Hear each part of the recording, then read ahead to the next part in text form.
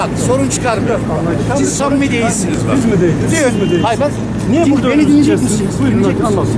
Siz, Evet. diyorum siz burada yokmusunuz. Doğru. Arkadaşım dağıtmış olduğunuz broşürlerde ilçelere kadar veya parti binası önünde basın açıklaması yapılacak diye bir şey Yanlış var mı yazmış cevap? Olsa onun cevabı. Yazım hat, yazım hat. Yazın o şekilde. Bitti. Tamam. Madem yazım hatası var, iki saat önceden biz oradayız. Doğru. Gelirsiniz.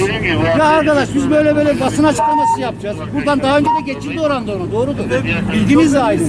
Ama bu sefer de hiç basın açıklaması yapmadan direkt aldınız bir tarafa direkt geçiş yaptınız. Tamam, Ya siz arkadaş yani diye yapmışlar. hayır söylemediniz. Yanıma geldiniz mi yok. Şimdi de diyorsun ki bas, ya basın açıklamasını. Tamam. Orada yapsan daha güzel merkezi yer. için- bizim için Derdinize ne olmuş? Issız bir yere Bizim gelip basın açıklaması yapmaya çalışıyorsun. Bu konuda yanlış. Şu anda görüşmüyorum. Yolu kapatamazsınız. Belli bir süre size müsaade ediyorum. İster açın, ister açmayın gereğini yapın. Arkadaşlar, geçin. Başkanım lütfen karşı tarafa geçin. Tamam Sayın Müdürüm emredersiniz. Nerede yapacağız. yapıyorsunuz? Ama siz çok ayıp ettiniz. Size Gerçekten, gerçekten ayıp ettiniz. Davalık kulaklar. Konumuz, şey konumuz bu değil. Lütfen geçin. Siz çok ayıp ettiniz. Başkanım geçin yerinize. Geç kesinlikle. Arkadan ve önden yok.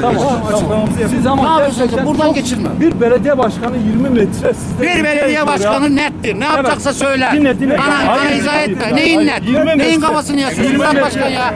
Geçin yerinize lütfen. 20 metre rica Lütfen yerinize Siz bunu geçin. kabul etmediniz. Lütfen yerinize geçin. Açıklamayı burada yapın. Lütfen sonra açıklamamı yapacağım. Lütfen geçin. Kapatın.